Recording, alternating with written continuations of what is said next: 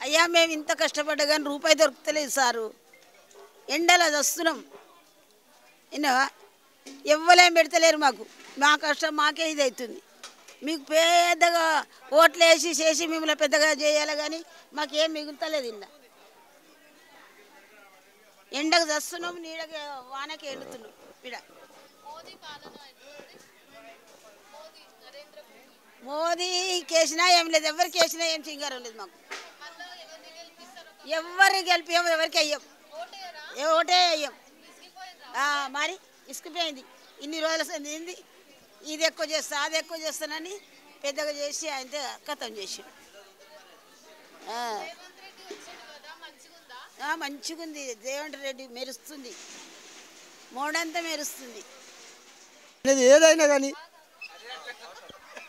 ఆయన ఏదైనా కానీ పద్ధతి లక్షణాలు నడక పోయేది వచ్చేది గరీబ్ వాళ్ళను చూసే వాళ్ళను అందరిని బాగా మెచ్చుకుంటాడు నడుస్తుంది బాగా ఉండాలి మళ్ళీ మళ్ళీ రావాలి ఆయన. మోడీ. మోడీ రావాలి. మోడీ మంచివాడు. చాలా మందిని గరీబ్ వాళ్ళను చూసుకుంటున్నాడు నడుస్తుంది మీకు ఏ పథకాలు అందినాయి మోదీవి? మోడీ అన్ని పథకాలు నచ్- నచ్చినాయి. అన్నీ బాగా నచ్చినాయి. ఇంకొకసారి మోదీ రావాలి. ఇంకోసారి రావాలి మళ్ళీసారి రావాలి మళ్ళీ మోడీ. ఎన్ని చాలా గరీబ్ వాళ్ళు అంత దూరంకి వెళ్ళి ఎక్కడి దగ్గరికి వెళ్ళి ఎక్కడి ముందు ఇంతరా ఇప్పుడు బరాబరి వస్తాడు ముందుకు. ముందుకు నడిచి గరీబ్ వాళ్ళను పెద్ద చేస్తా ఉన్నాడు. చూస్తా ఉన్నాడు ఎక్కడేం సార్ ఎక్కడేం పోవాలని చూస్తా ఉన్నాడు. అందుకని మళ్ళీ రావాలని కోరుకుంటున్నాను. ఉన్నాయి కదా ఏ పార్టీ గెలిస్తే మీకు మంచిగా ఉంటుంది అనిపిస్తుంది? మాకు బీజేపీ సెంటర్లో ఉంటే బాగుంటుంది. ఎందుకు అట్లా మోడీ సార్ అంటే అభిమానము మోడీ సార్ పనులు కూడా బాగుంటాయి ఈ పదేళ్ళలో మోదీ మీకు ఏం చేసింది మోడీ ఏం అని అక్కడ సెంటర్లో ఉందనుకో గడబడులు లొల్లీలు అవన్నీ ఏముండేది. అక్కడ నిధులు ఇస్తేనే వీళ్ళు ఇస్తారు. వాళ్ళు ఆఫ్ ఆఫ్ తీసుకొని వీళ్ళు ఇస్తారు కదా. దానివల్ల ఏమవుతుందంటే మాకు మోడీ ఇష్టం అనమాట ఇప్పుడు కేసీఆర్ ఏం చేసినాడు? మొత్తం అప్పుల పాలు చేశాడు. అప్పులు ఏం చేయలేడు. ప్రభుత్వానికి మంచి చేస్తాడు. అయోధ్య రామ గుడి కూడా కట్టిండు. ఏ రాష్ట్ర ఏ సీ ఏ ప్రధానమంత్రి కట్టలే. ఈ సార్తోనే అయింది ఆ పని. ఇన్ని ఏళ్ళ నుంచి ఉన్నది అది. ఇప్పుడు కట్టిండు అది మందిర్. ఎంత సంతోషపడుతారు? పబ్లిక్ నడుచుకుంటూ పోతారు పాదయాత్ర పోతారు. రాముడు అంటే అంత మీ ఏరియాలో ఎవరు లేవంటే ఏ క్యాండిడేట్ లేడా సమస్య లేదు. నా మోడీ సమస్య కాబట్టి ఏ క్యాండిడేట్ లేడా పువ్వుకి ఇస్తాను మోడీ సార్ బీజేపీకి ఇస్తాను ఆ క్యాండిడేట్స్ అవసరం లేదు నాకు. మోడీ సార్ అభిమానం కాబట్టి మోడీకి కమలం గుర్తుకి ఓటేస్తాం. ఇప్పుడు ఇక అతను ఏంటంటే ఇప్పుడు అప్పుల పాలు ఉంది ఆ అప్పులు సుధరాచుకోవాలంటే ఆయనకు కూడా కష్టమే కదా.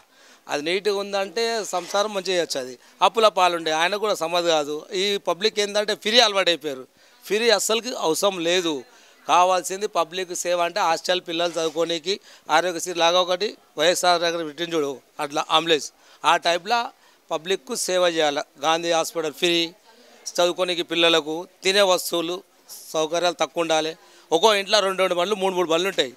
అది కూడా పెట్రోల్ తగ్గించాలి. ఇవి అవసరం. మిగతా అంతా వాళ్ళంతా వాళ్ళు కష్టపడుకుంటారు. ఏం అవసరం లేదు. ఫ్రీ అవసరమే లేదు.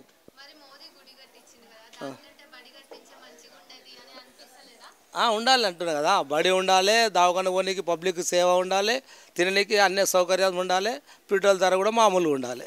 ఒక్కో ఇంట్లో మూడు బండ్లు నాలుగు బండ్లు ఉంటాయి కదా. పెట్రోల్ తగ్గితే మంచిది కదా. అట్లా అంటారు ఇప్పుడు వచ్చి కేసీఆర్ వచ్చి అన్నీ ఉండే ఇప్పుడు రేవంత్ రెడ్డి కొత్తగా వచ్చింది కదమ్మా ఇప్పుడు ఆయనకు సమాధి కాదు ఇప్పుడే. ఆయన సమాధి కాదు ఇప్పుడు ఆయన ఏం చేస్తాడు? ఇప్పుడు దాన్ని కంట్రోల్ చేసుకోవాలి ఆయన అప్పులు కష్టం. ఆయన కూడా కష్టమే కదా. ఆ పదం మీద ఉంటే వాళ్ళకి తెలుస్తుంది. మనం ఎన్నో అంటాం ఎవరో ఎన్నో రకాలు చెప్తాడు ఆ ఫ్రీ బస్సు పెట్టిండు కానీ లేడీస్కి ఉపయోగిస్తుంది. కారు చూపెడుతూ జెంట్స్ కూర్చోకుండా అయిపోతుంది. నేను డబ్బులు ఇచ్చేసి లేవాడిపోతున్నా